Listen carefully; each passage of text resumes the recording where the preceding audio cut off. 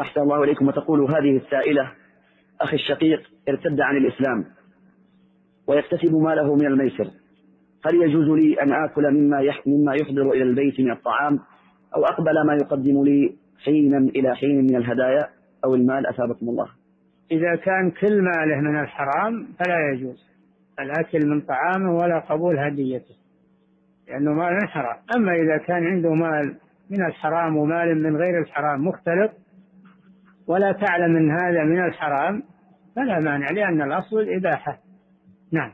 النبي صلى الله عليه وسلم أكل من طعام اليهود مع أنهم يتعاملون بالربا لأن كل ليس كل أموالهم من الربا عندهم أموال حلال.